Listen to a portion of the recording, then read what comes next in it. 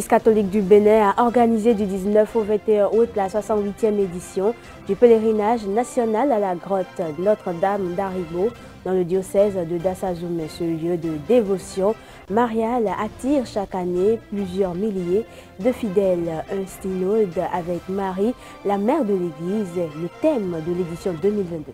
Des progrès significatifs ont été signalés avec des recommandations au gouvernement lors de la clôture des travaux de revue du secteur agricole gestion 2021 ce vendredi 19 août à Cotonou en présence des différents acteurs.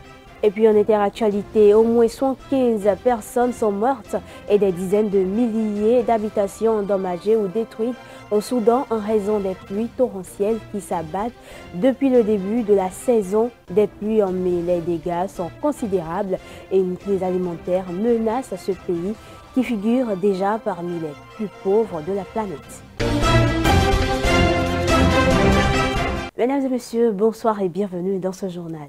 Le parti Union progressiste de renouveau est désormais mis sur les fonds baptismaux résultant de la fusion de l'Union progressiste et du Parti du renouveau démocratique. Cette nouvelle formation politique de la mouvance a vu le jour. C'est au cours d'un congrès constitutif qui a réuni au stade Charles de Gaulle de Porte-Novo ce dimanche 21 août 2022 les ténors de deux anciens partis ainsi que plusieurs d'autres invités. Romaric Doussa pour le reportage. C'est désormais chose faite. L'Union progressiste et le Parti du renouveau démocratique n'existent plus. Les deux partis ont enfin concrétisé leur projet de fusion. Cette fusion donne naissance à un nouveau parti dénommé Union progressiste, le renouveau. Elle est célébrée ce dimanche 21 août 2022 à Porte Novo devant une foule de militants et cadres des deux formations politiques. L'Union progressiste, le renouveau, n'est pas seulement le marqueur de la centralité sociale démocrate de notre positionnement idéologique. Elle est, dans son mouvement, dans son apport et dans sa détermination, la condition de la construction durable d'un développement inclusif au plan économique et social, offensif au plan politique et stratégique, panafricain au plan des perspectives régionales. L'Union progressiste, le renouveau, doit se baser sur la confiance entre ses membres. C'est ce qui ressort du discours du désormais ancien président de l'ancien PRD, Adrien Humbedi, au cours de ce congrès constitutif. Mes chers amis de l'UP, ma volonté, la volonté du PRD est d'opposer toutes les forces de l'intelligence et de la conviction à la terrible crise de confiance dont nous sommes les héritiers. Nos compatriotes ne croient plus à la politique parce que la politique est devenue un marché de dupes permanent. Rendre confiance à ceux qui l'ont perdu, c'est le plus beau des défis, le plus grand, le plus exigeant qu'un mouvement politique comme le nôtre puisse se lancer à lui-même. Construire l'union progressiste, le renouveau sur la confiance construire une république de la confiance.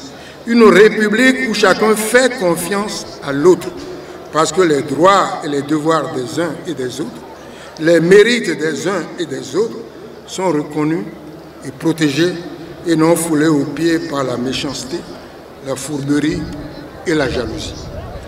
Les autres partis politiques légalement enregistrés au Bénin sont également représentés un geste de soutien au nouveau-né UPR. Je voudrais faire ici un appel aux forces de l'opposition et aux forces centristes que nous devons nous inspirer de ce qui se passe aujourd'hui à Porto Novo. Nous devons nous en inspirer.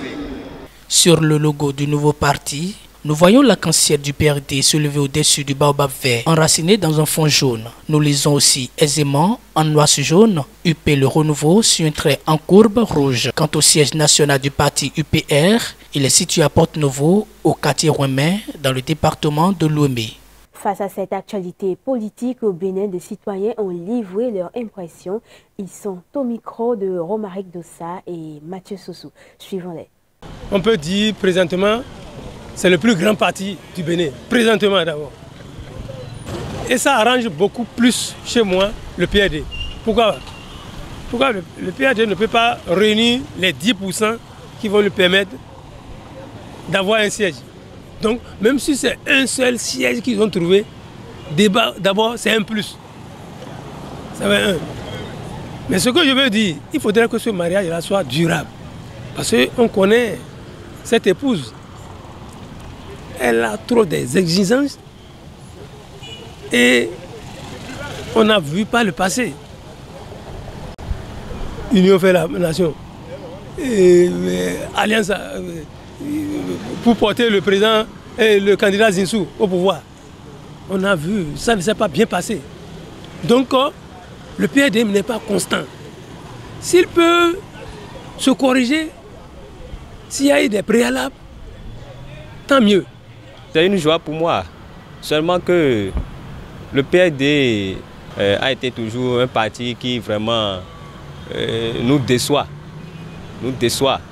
Donc euh, si cette fusion se passe, je crois qu'il y aurait des obligations pour lui, à savoir le développement des jeunes, à sa base, la promotion de la femme, et aussi faire les choses qu'il faut pour que le, parti ne soit plus ce que ça a été dans le passé. Tant que nous avons connu le PRD au Bénin, le PRD est un parti ethnique le PRD n'a que son fief dans le le plateau. Maintenant, les autres partis qui ont leur source dans leur clan ethnique aussi, est-ce que le PRD va s'imposer dans ces zones-là pour dire à Adja, je voudrais que le PRD me donne deux députés, vous me donnez deux députés dans le nord, ce qu'il n'a jamais eu lui-même quand il était aux actions, il va l'imposer, ce serait difficile. Ce serait difficile. Là, là, il y a un piège que je vais demander aux grands militants du PRD de, tout faire pour que les Béninois soient confiants, les Béninoises et Béninoises soient confiants de ce qu'ils sont en train de prouver. Parce qu'aujourd'hui, nous sommes en train de voir, pour la première fois de l'histoire béninoise, le seul parti politique qui a réuni tous les partis politiques, c'est-à-dire qui a en son sein ceux qui sont pour et, que, et ceux qui ne sont pas pour, en des clans plus élevés, plus grands on n'a jamais réussi à ramener, euh, c'est-à-dire comme les Occidentaux le font, ceux qui sont de la gauche, ceux qui sont de la droite. Le Bénin n'a jamais réussi. Ça, c'est une première expérience. Et l'UP est le premier à gagner ce pari. Et j'aimerais aussi profiter de ça pour demander à l'opposition aussi d'aller à ces gens d'école-là et s'unir. S'unir et laisser la guerre de personnes la guerre de c'est moi qui va être président, c'est moi qui ne va pas être président, pour vraiment s'unir afin de s'opposer pour le développement des, des, mauvaises choses dans notre pays et œuvrer pour le développement des bonnes choses, de la cohésion nationale et du, du développement des fils et fils de ce pays. Le 22 août, c'est la journée internationale de commémoration des victimes d'actes de violence basés sur la religion ou la conviction. Cette journée commémore également les victimes athées et agnostiques aux mains des élotes religieux. L'essentiel à savoir sur cette journée dans cet élément. Les actes de violence fondés sur la religion où la conviction demeure désormais fréquent, notamment contre les personnes appartenant à des minorités religieuses. Le nombre et l'intensité de tels incidents, souvent de nature pénale, ne cessent de croître et de prendre une portée internationale. C'est la raison pour laquelle l'Assemblée générale des Nations unies a proclamé le 22 août journée internationale de la commémoration des personnes victimes de violences en raison de leur religion ou de leur conviction en condamnant les actes de violence et de terrorisme qui continuent d'être commis contre des personnes, en particulier les membres de minorités religieuses, sous le couvert ou un nom d'une religion ou d'une conviction. C'était lors de la 73e session de l'Assemblée générale des Nations unies. La résolution soutenue par le Brésil, le Canada, l'Égypte, l'Irak, la Jordanie, le Nigeria, le Pakistan, la Pologne et les États-Unis a été adoptée par un consensus après une passe d'armes entre la Chine et les États-Unis à propos des Ouïghours. Plusieurs pays majoritairement musulmans ont évoqué une montée de l'islamophobie dans le monde. Les informations sur les actes de violence et de harcèlement à fondement caractère religieux dans des pays comme le Pakistan, le Nigeria ou l'Inde continuent d'être une grande cause d'inquiétude, bien que des motivations sociales et ethniques soient souvent impliquées comme le moteur de ces violences. Les effets du terrorisme religieux international sont dévastateurs et empêchent les victimes d'exercer leurs droits fondamentaux et affectent leur stabilité et leur sécurité pendant des générations, bien après que le danger immédiat semble avoir disparu le 22 août, il ne s'agit pas seulement de dénoncer, mais aussi de se souvenir et d'honorer les nombreuses personnes victimes de persécutions religieuses et qui ont été oubliées. Et je l'annonçais en titre, le pèlerinage marial en honneur de Notre-Dame d'Arigo s'est achevé hier, dimanche 21 août 2022 à Dassazoumé. La messe de clôture a été célébrée par le nonce apostolique près le Bénin et le Togo, Marc Roger Mille. L'occasion était pour les fidèles catholiques de se rendre en ce lieu saint de l'Église catholique au Bénin pour vénérer la Vierge Marie, Mère de Dieu. L'édition de cette année est placée sous le thème en synode avec Marie, la mère de l'Église. Retour chez quelques temps forts de cette célébration dans ce reportage de Kenneth Egambi.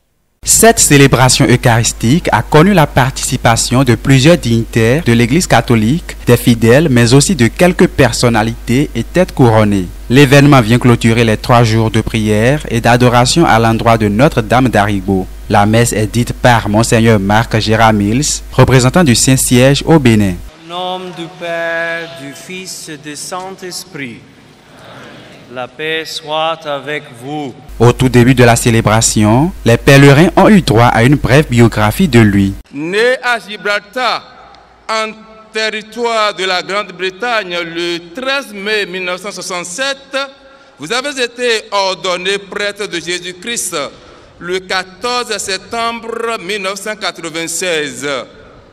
Vous vous êtes préparé au service diplomatique du Saint-Siège à l'Académie pontificale ecclésiastique à Rome et avez servi en Équateur, en Hongrie et à Rome. Vous êtes euh, depuis le 5 février 2021 nonce apostolique près le Bénin et le Togo. Le religieux était entouré des membres de la conférence épiscopale du Bénin, d'anciens évêques et d'une horde de religieux. Dans son homélie, Monseigneur Marc Gérard Mills s'est beaucoup plus appesantir sur l'importance de Marie dans la vie de tout chrétien catholique. Il rappelle également à ses fidèles que la vie de tout homme est semblable à une montagne à gravir.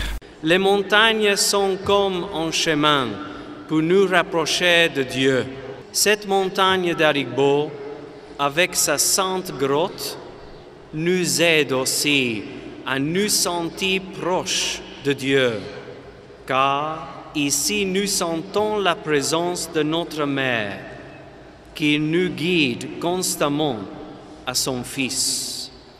Les évangiles nous disent que Marie, après avoir conçu Jésus, s'est hâta vers les collines pour aider sa cousine Élisabeth. Aujourd'hui aussi, sur cette montagne, elle est présente pour nous aider dans nos propres besoins.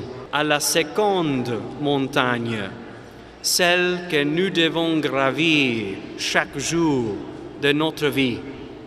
C'est la montagne du calvaire, la colline de la croix, où notre Seigneur, par amour, est mort nous. La grotte mariale Notre-Dame d'Arigbo est consacrée lieu de pèlerinage en 1954 par Monseigneur Louis Parisot, premier évêque du Dahomey, après la découverte mystérieuse d'une statue de la Vierge Marie. Depuis lors, ce lieu accueille des milliers de pèlerins chaque année.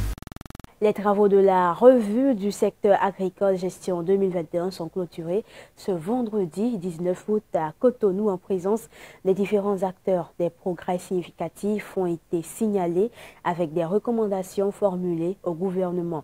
Le compte rendu avec Romaric ça. Revue de performance du système agricole béninois gestion 2021. Elle a permis de capitaliser sur les efforts et acquis de l'année écoulée. Nous voici au terme de la revue de performance du secteur agricole au titre de la gestion 2021. Cet exercice annuel, loin d'être une routine, a été pour nous, plus encore qu'habituellement, l'occasion d'un réarmement stratégique pour faire face aux nombreux défis qui se posent à notre secteur. Vous notez avec nous que durant les cinq années de mise en œuvre du programme d'action du gouvernement volet agriculture 2016-2021, des progrès significatifs ont été réalisés dans l'atteinte des ambitions de production et de productivité des filières agricoles, dans la promotion et la structuration des chaînes de valeur, la résilience face au changement climatique, la gouvernance sectorielle et le financement agricole. Nous avons gardé ensemble le cap pour l'atteinte des objectifs de sécurité alimentaire et nutritionnelle et de réduction de la pauvreté, mais nous devons maintenir une veille permanente, surtout en face de l'environnement macroéconomique de plus en plus instable. Des regards critiques que les uns et les autres ont portés sur les performances actuelles de l'action publique dans le secteur serviront de levier pour l'amélioration des actions au sein de notre département ministériel. La qualité de vos travaux est hautement appréciée. Je voudrais d'ores et déjà vous assurer de mon engagement à porter des améliorations à l'organisation des prochaines éditions de la revue du secteur sur la base des recommandations qui sont faites. Face aux nouveaux défis auxquels font face le secteur agricole béninois, des recommandations ont été faites. Beaucoup de recommandations ont été faites et c'est toujours dans le, dans le cadre de, mieux faire, d'améliorer, d'être beaucoup plus performant au niveau de ce secteur agricole et surtout de faire un clin d'œil par rapport à la nouvelle dynamique concernant l'élevage pastoral où on est de plus en plus en train de faire un déploiement par rapport à la sédentarisation. Et qui dit sédentarisation dit que agriculteurs et éleveurs doivent euh, avoir la même compréhension de ce que c'est et de où on veut aller et de pourquoi et ce que cela va reporter à chacun. Je pense que la sédentarisation va contribuer à non seulement à planir les divergences, mais euh, contribuer aussi à l'amélioration de la productivité avec nos différentes races, que ce soit euh, les races bovines, les races ovines ou caprines, et que de façon globale, que le sous-secteur élevage puisse mieux se porter. Ces acteurs sont donc invités à continuer dans cette dynamique, celle du développement de l'agriculture béninoise.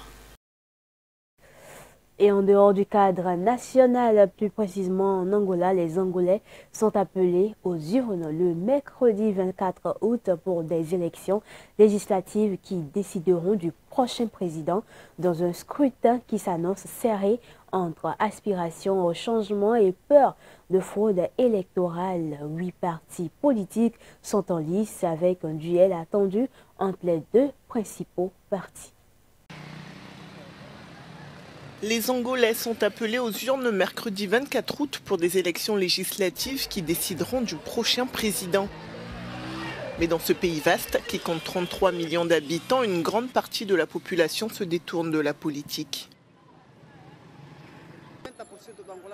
La plupart des gens en Angola ne travaillent pas et cela a détruit la réputation du gouvernement. Il n'y a pas d'intention politique de développer le pays.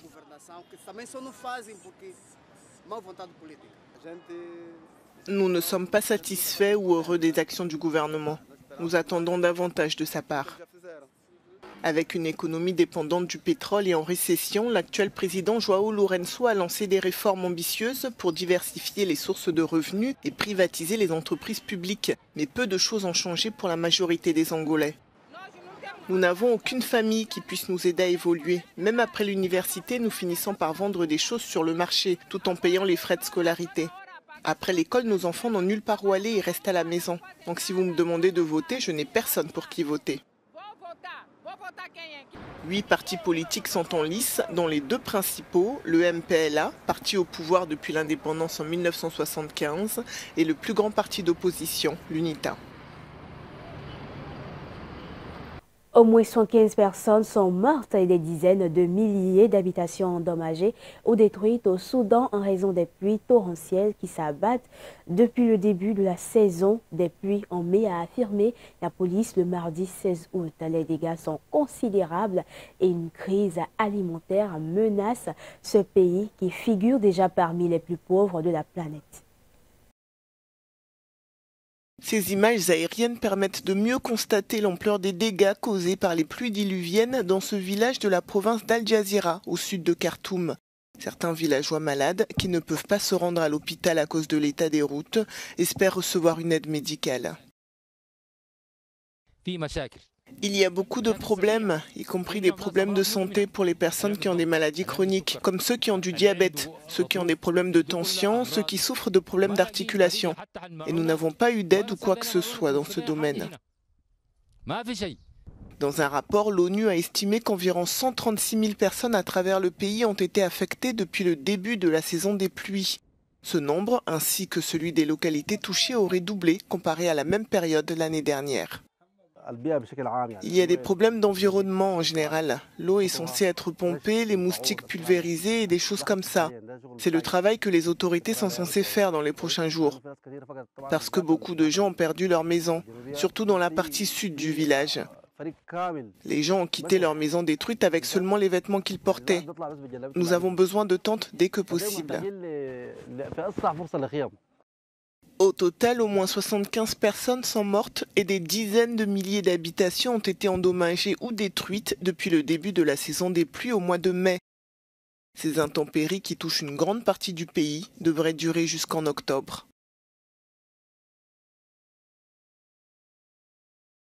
Et on reste toujours au Soudan avec le procureur de la CPI qui entame une visite euh, dans le pays. Karim Khan se rendra notamment au Darfour, région ravagée par une guerre civile qui a débuté en 2003. Sa visite cette année est la troisième d'un procureur de la CPI au Soudan depuis l'éviction du dictateur Omar al-Bashir. Le procureur de la Cour pénale internationale CPI, Karim Khan, est arrivé au Soudan samedi soir. Cette visite prévue jusqu'au 25 août est la troisième d'un procureur de la CPI depuis l'éviction de l'ex-président Omar el-Béchir en 2019. Karim Khan, accompagné d'une délégation, rencontrera des responsables du pays en proie aux troubles depuis la chute de l'ex-chef d'État. Le procureur se rendra également au Darfour, une région de l'ouest du pays dévastée par une guerre civile qui a débuté en 2003 entre le régime à majorité arabe de l'ex-président Omar el-Béchir et les insurgés issus de minorités ethniques. Aujourd'hui, des violences persistent dans la région malgré un accord conclu en 2020 entre les autorités à Khartoum et les principaux groupes rebelles. Depuis, des chefs rebelles du Darfour repentis ont rejoint le gouvernement. Le coup d'État du général Abdel Fattah al-Burhan du 25 octobre dernier a fait dérailler la fragile transition démocratique instaurée après l'éviction d'Omar el-Béchir. Le Soudan ne cesse depuis de s'enfoncer dans le marasme économique et politique.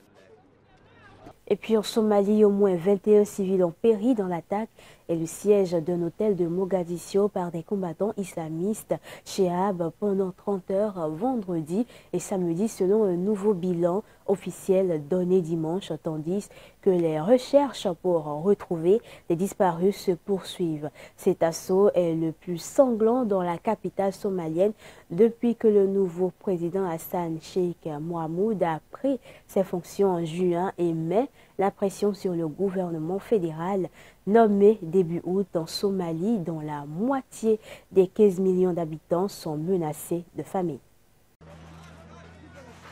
Pendant que le siège de l'hôtel, pris d'assaut par des chebabs, a pris fin dimanche matin, les Somaliens attendaient anxieusement des nouvelles de leurs proches.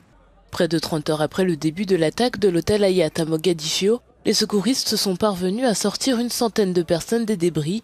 Au moins 13 civils ont perdu la vie et des dizaines ont été blessés.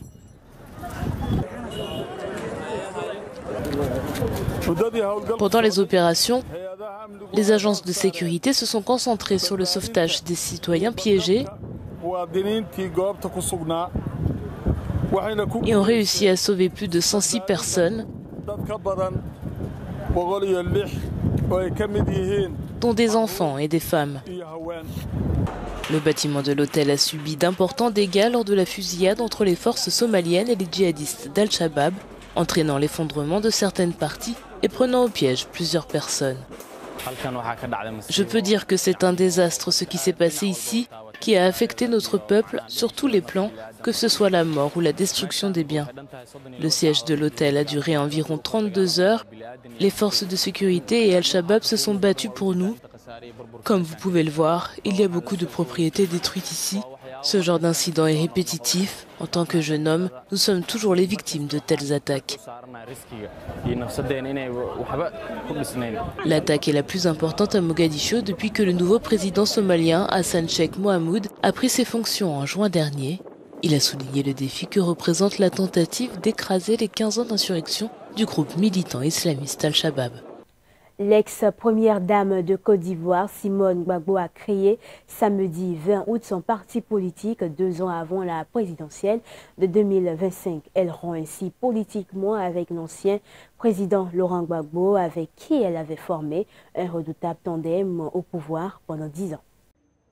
À deux ans de la présidentielle de 2025 en Côte d'Ivoire, l'ancienne première dame Simone Gbagbo lance son parti politique. Seule candidate à la présidence du mouvement des générations capables, MGC, Simone Yves Bagbo a été élue à l'unanimité par plusieurs centaines de délégués venus de tout le pays.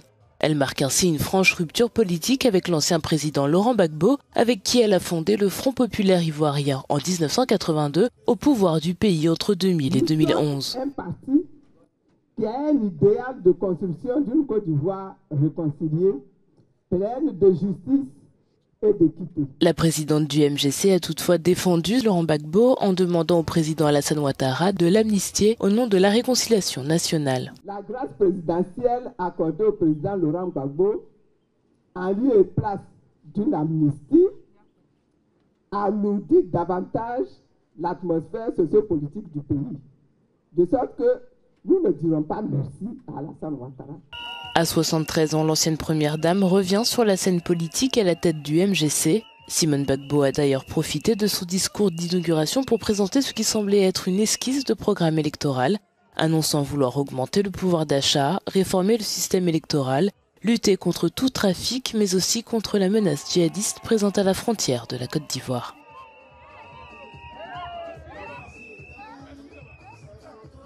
Le président ukrainien menace de rompre toute négociation en cas de procès à Mariupol des combattants du régime Azov qui avaient défendu la ville de Mariupol avant de se rendre en mai dernier.